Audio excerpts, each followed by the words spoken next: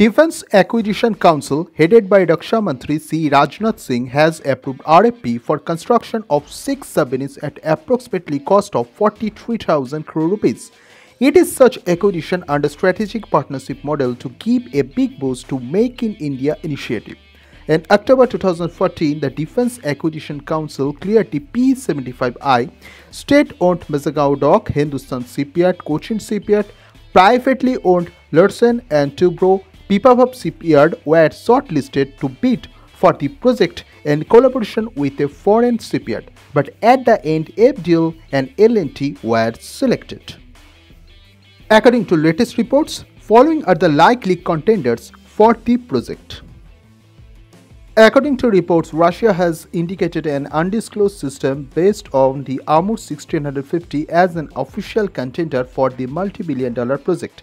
The Amur 1650 is an export version of Project 677, the fourth generation diesel electric submarine with future fifth generation Kalina class will bolster the conventional submarine fleet of Russian Navy.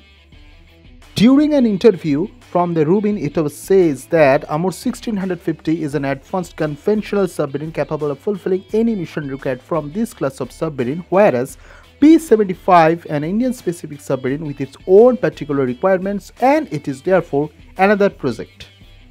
So if we go by this statement, it is clear that whereas Amur 1650 is offered, the offer for P-75 might be a different design based on this system.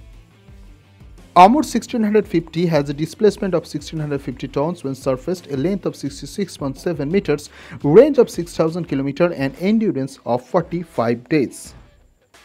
Now coming to the second contender, TKMS is offering 6 Invincible class submarine. The Invincible class or Type 218 is built by HDW and is the latest conventional submarine platform from Germany.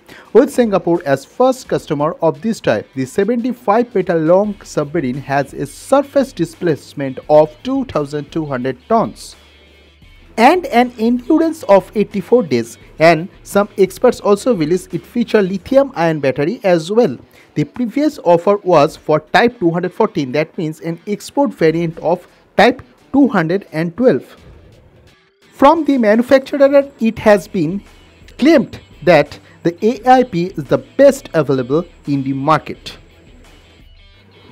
Our next contender is from Spain. Navantia, if I am pronouncing right, is offering the S-80 Plus Flight 2 submarines with air-independent propulsion. The submarine has a length of 80.81 meter, displacement of 2,695 ton and endurance of 50 days. In future, the platform would be able to operate UAVs, UVs and ALWs. The Navantia is also exploring option to install lithium-ion battery, thus greatly enhancing its capability.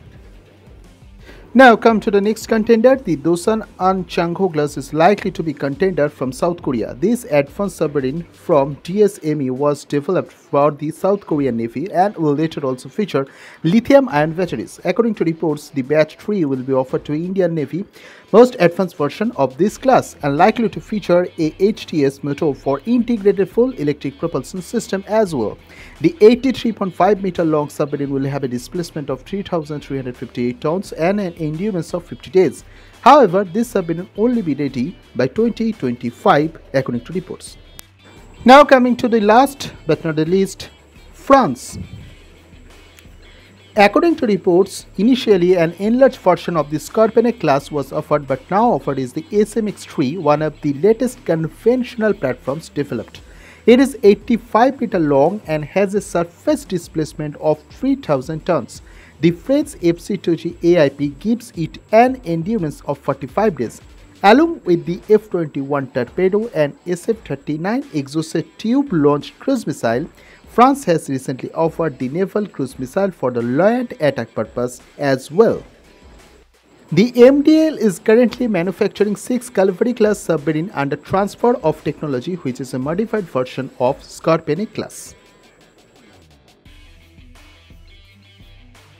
So this was a list for potential candidates for the project but we will know the official list only after RFP is placed. That's for today guys. We'll meet with you to have further discussion on P75I. Take care. Bye.